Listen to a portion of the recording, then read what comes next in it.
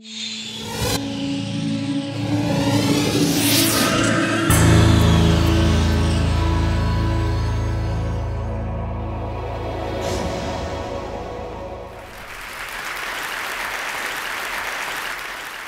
This strange looking plant is called the llareta. What looks like moss covering rocks is actually a shrub comprised of thousands of branches, each containing clusters of tiny green leaves at the end. And it's so densely packed together that you could actually stand on top of it. This individual lives in the Atacama Desert in Chile, and it happens to be 3,000 years old. It also happens to be a relative of parsley. For the past five years, I've been researching, working with biologists, and traveling all over the world to find continuously living organisms that are 2,000 years old and older. The project is part art and part science. There's an environmental component. And I'm also trying to create a means in which to step outside of our quotidian experience of time and to start to consider a deeper time scale. I selected 2,000 years as my minimum age because I wanted to start at what we consider to be year zero and work backward from there. What you're looking at now is a tree called Jomon Sugi, uh, living on the remote island of Yakushima. The tree was in part a catalyst for the project. I'd been traveling in Japan without an agenda other than to photograph, and then I heard about this tree that is 2,180 years old and knew that I had to go visit it. It wasn't until later when I was actually back home in New York that I got the idea for the project. So it was the, the slow churn, if you will. I think it was my longstanding desire to bring together my interest in art, science, and philosophy that allowed me to be ready when the proverbial light bulb went on.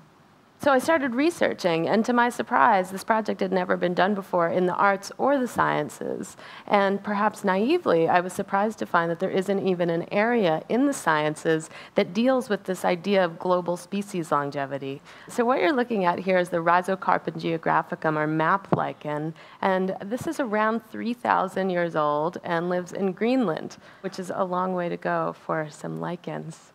Visiting Greenland was more like traveling back in time than just traveling very far north. It was more primal and more remote than anything I'd ever experienced before.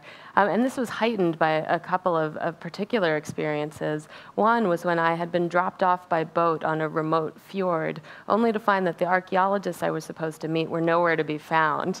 Um, and it's not like you could send them a text or shoot them an email, so I was literally left to my own devices.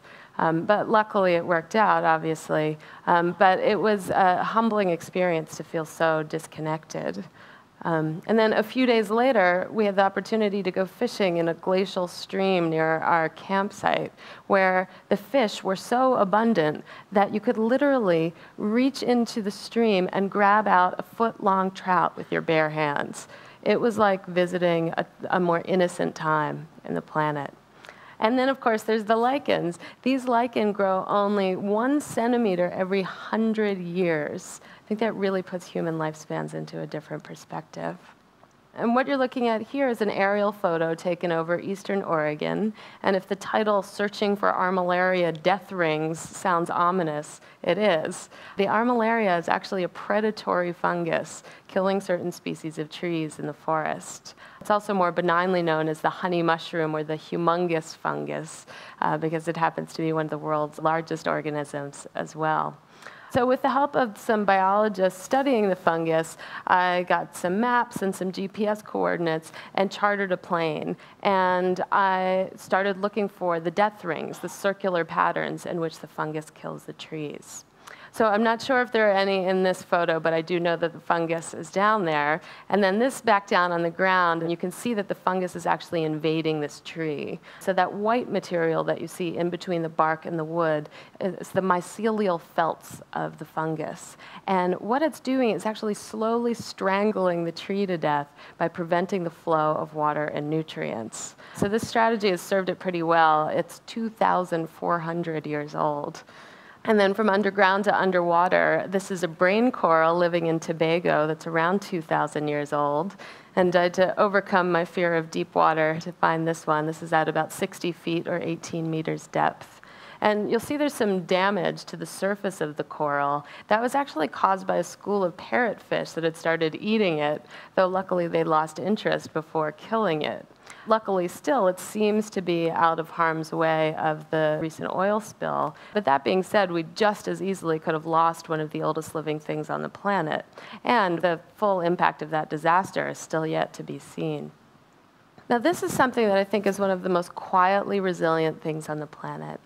This is a clonal colony of quaking aspen trees living in Utah that is literally 80,000 years old. What looks like a forest is actually only one tree. Imagine that it's one giant root system, and each tree is a stem coming up from that system. So, what you have is one giant interconnected, genetically identical individual that's been living for 80,000 years. It also happens to be male and, in theory, immortal. This is a clonal tree as well. This is the spruce Gran Picea, which at 9,550 years is a mere babe in the woods. The location of this tree is actually kept secret for its own protection. I spoke to the biologist who discovered this tree, and he told me that that spindly growth that you see there in the center is most likely a product of climate change. As it's gotten warmer on the top of the mountain, the vegetation zone is actually changing. Um, so we don't even necessarily have to have direct contact with these organisms to have a very real impact on them. This is the Fortingall yew. No, I'm just kidding. Uh, this is the Fortingall uh, but I put that slide in there because I'm often asked if there are any animals in, in the project. And aside from coral, the answer is no. Um, does anybody know how old the oldest tortoise is? Any guesses? 300? No. 175 is the oldest living tortoise, so nowhere near 2,000. Um, and then you might have heard of this uh, giant clam that was discovered off the coast of northern Iceland that reached 405 years old. However, it died in the lab as they were determining its age. Um, the most interesting discovery of late, I think, is the so called immortal jellyfish, which has actually been observed in the lab to be able to revert back to the polyp state after reaching full maturity. So, um, that being said, it's highly unlikely that any jellyfish would survive that long in the wild. Um, and back to the yew here. So as you can see, it's in a churchyard. It's in Scotland. It's behind a protective wall. And there are actually a number of ancient yews in churchyards around the UK. But if you do the math, you'll remember it's actually the yew trees that were there first, then the churches. And now down to another part of the world. I had the opportunity to travel around the Limpopo province in South Africa with an expert in baobab trees. And we saw a number of them, and this is most likely the oldest. It's around 2000, um, and it's called the Sagole baobab. And you know, I think of all of these organisms as palimpsests. They contain thousands of years of their own histories within themselves, and they also contain records of natural and human events. And the baobabs in particular are a great uh, example of this. Um, you can see that this one has names carved into its trunk, but it also records some natural events. So the baobabs, as they get older, tend to get pulpy in their centers and hollow out. And this can create great natural shelters for animals. Uh, but they've also been appropriated for some rather dubious human uses, including a bar, a prison, and even a toilet inside of a tree. And this brings me to another favorite of mine, I think, because it is just so unusual. This plant is called the Welwitschia, and it lives only in parts of coastal Namibia and Angola, where it's uniquely adapted to collect moisture from mist coming off the sea. And what's more, it's actually a tree. It's a primitive conifer. You'll notice that it's bearing cones down the center. And what looks like two big heaps of leaves is actually two single leaves that get shredded up by the harsh desert conditions over time. And it actually never sheds those leaves. So it also bears the distinction of having the longest leaves in the plant kingdom. I spoke to a biologist at the Kirstenbosch Botanical Garden in Cape Town to ask him uh, where he thought this remarkable plant came from. And his thought was that if you travel around Namibia, you see that there are a number of petrified forests, and the, the, the logs are all um, the logs are all giant coniferous trees, and yet there's no sign of where they might have come from.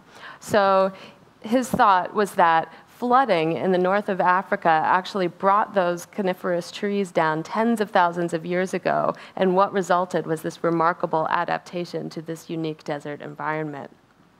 This is what I think is the most poetic of the oldest living things. This is something called an underground forest. So I spoke to a botanist at the Pretoria Botanical Garden who explained that certain species of trees have adapted to this region, it's bushveld region, which is dry and prone to a lot of fires. And so what these trees have done is if you can imagine if this is the crown of the tree and that this is ground level, imagine that the whole thing, that whole bulk of the tree migrated underground and you just have those leaves peeping up above the surface. That way, when a fire roars through, it's the equivalent of getting your eyebrows singed. The tree can easily recover. These also tend to grow clonally, the oldest of which is 13,000 years old back in the US, there's a couple plants of similar age. This is the clonal creosote bush, which is around 12,000 years old. If you've been in the American West, you know that the creosote bush is pretty ubiquitous. But that being said, you see that this has this unique circular form. And what's happening is it's expanding slowly outwards from that original shape. And it's one, again, that interconnected root system, making it one genetically identical individual. It also has a friend nearby well, I think they're friends. Uh, this is the clonal Mojave yucca. It's about a mile away. And it's a little bit older than 12,000 years, and you see it has that similar circular form, and there's some younger clones dotting the landscape behind it. And both of these, the yucca and the creosote bush, live on Bureau of Land Management land. And that's very different from being protected in a national park. In fact, this land is designated for recreational all-terrain vehicle use. So now I want to show you what very well might be the oldest living thing on the planet. This is Siberian actinobacteria, which is between 400,000 and 600,000 years old. This bacteria was discovered several years ago by a team of planetary biologists hoping to find clues to life on other planets by looking at one of the harshest conditions on ours. And what they found by doing research into the permafrost was this bacteria. But what's unique about it is that it's doing DNA repair below freezing. And what that means is that it's not dormant. It's actually been living and growing for half a million years. It's also probably one of the most vulnerable of the oldest living things because if the permafrost melts, it won't survive. This is a map that I put together of the oldest living things so you can get a sense of where they are. You see they're all over the world. The blue flags represent things that I've already photographed, and the reds are places that I'm still trying to get to. Um, you'll see also there's a flag on Antarctica. I'm trying to travel there to find 5,000 year old moss, which lives on the Antarctic Peninsula. So I probably have about two more years left on this project, uh, or on this phase of the project. But after five years, I really feel like I know what's at the heart of this work. The oldest living things in the world are a record and celebration of our past, a call to action in the present, and a barometer of our future. They've survived for millennia in desert, in the permafrost, at the tops of mountains, and at the bottom of the ocean. They've withstood untold natural perils and human encroachments. But now some of them are in jeopardy, and they can't just get up and get out of the way. It's my hope that by going to find these organisms, that I can help draw attention to their remarkable resilience and help play a part in ensuring their continued longevity into the foreseeable future. Thank you.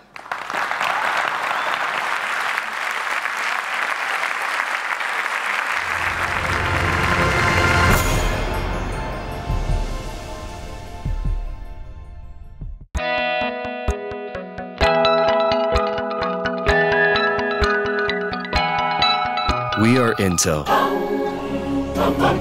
Sponsors of tomorrow.